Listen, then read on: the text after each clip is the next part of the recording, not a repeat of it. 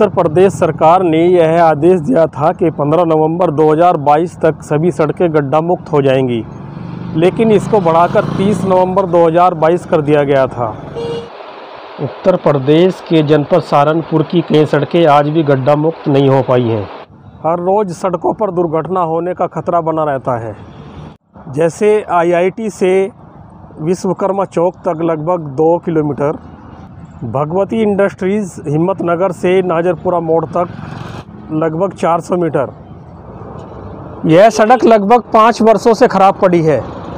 इन सड़कों से रोज़ाना लाखों लोग गुजरते हैं। इस प्रकार नगर की कई सड़कों पर गड्ढे हैं। आइए बात करते हैं उनसे जो रोज़ाना सड़क पर जाते हैं। इस सड़क में गड्ढे होने से क्या क्या प्रॉब्लम आ रही है? सर, बहुत दिक्कत आ रही है। सड़क पर चलते हुए कई बार गिर चुका हूँ मैं।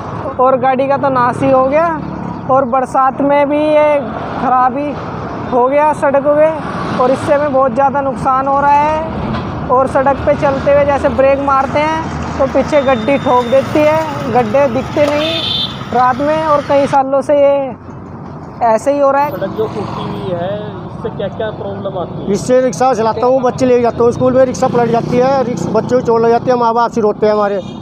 और सड़क की प्रॉब्लम देख नहीं रहे। बहुत बुरा हाल हो रहा है बहुत हालत ख़राब है रोड की।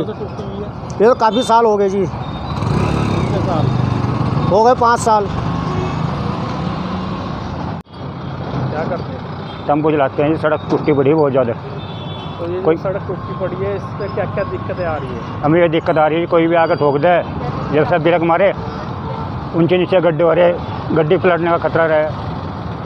वो सड़क क्या बहुत ख़राब हो रही है हाल। ये कितने वर्षों से खराब है? ये कम से कम छः बरस हो गए जी। इसी तरह हालत ख़राब है जी। इस रोड के सबसे ज़्यादा रोड चलता है। वो, इसी की हालत ख़राब है।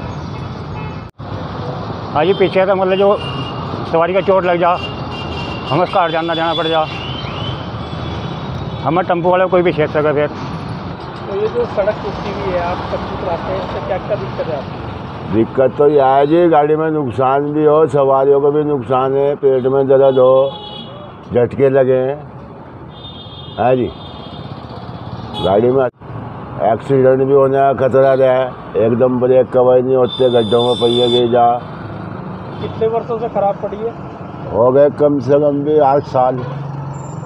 मैं सुरेश गौतम सहारनपुर उत्तर प्रदेश सामुदायिक संवाददाता इंडियन अनहर्ट के लिए।